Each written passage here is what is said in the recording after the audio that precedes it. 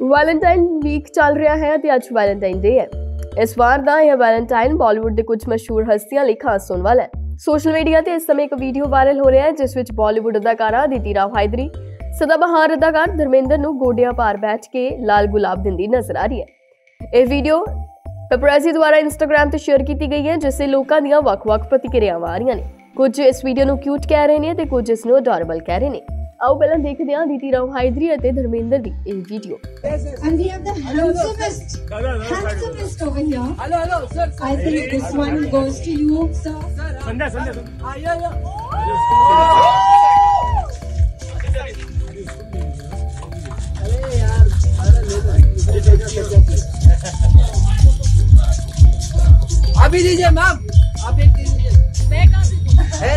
एक एक दे दीजिए अच्छा तो पीला वाला तो दोस्ती का होता है यार वो प्यार का है ਵੀਡੀਓ ਦੇ ਵਿੱਚ ਤੁਸੀਂ ਦੇਖ ਸਕਦੇ ਹੋ ਕਿ ਅਦਿਤੀ ਰਾਓ ਹਾਇਦਰੀ ਕਹਿੰਦੀ ਹੈ ਸਭ ਤੋਂ ਹੈਂਡਸਮ ਸਭ ਤੋਂ ਪਿਆਰੇ ਵਿਅਕਤੀ ਸਾਡੇ ਵਿਚਕਾਰ ਮੌਜੂਦ ਨੇ ਇਹ ਤੁਹਾਡੇ ਲਈ ਹੈ ਸਰ ਇਸ ਤੋਂ ਬਾਅਦ ਅਦਾਕਾਰਾ ਗੋਡਿਆਂ ਪਰ ਬੈਠੀ ਅਦਾਕਾਰ ਨੂੰ ਲਾਲ ਗੁਲਾਬ ਦਿੰਦੀ ਹੈ ਇਸ ਤੋਂ ਬਾਅਦ ਉਹ ਧਰਮਿੰਦਰ ਦੇ ਹੱਥਾਂ ਨੂੰ ਵੀ ਚੁੰਮਦੀ ਹੈ ਜਿਸ ਤੋਂ ਬਾਅਦ ਅਭਿਨੇਤਾ ਵੀ ਪਿਆਰ ਦੇ ਨਾਲ ਅਦਿਤੀ ਦੇ ਸਿਰ ਤੇ ਥਪਥਪਾਉਂਦੇ ਨੇ ਵੀਡੀਓ ਸ਼ੇਅਰ ਕਰਦੇ ਹੋਏ ਇਸ ਦੇ ਕੈਪਸ਼ਨ ਦੇ ਵਿੱਚ ਲਿਖਿਆ ਹੈ ਅਦਿਤੀ ਰਾਓ, ਹਾਇਦਰੀ ਧਰਮਿੰਦਰ ਜੀ ਨੂੰ ਵੈਲੈਂਟਾਈਨ ਡੇ ਤੇ ਮਿੱਠੇ ਤਰੀਕੇ ਦੇ ਨਾਲ ਸ਼ੁਭਕਾਮਨਾਵਾਂ ਦਿੰਦੀ ਹੈ।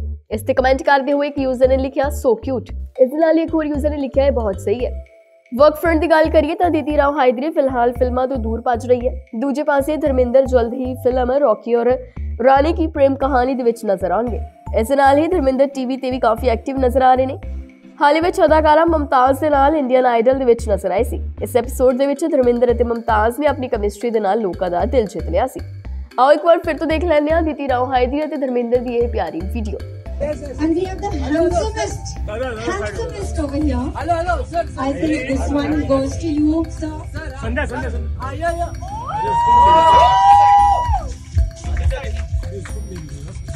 अरे यार अरे ले लो।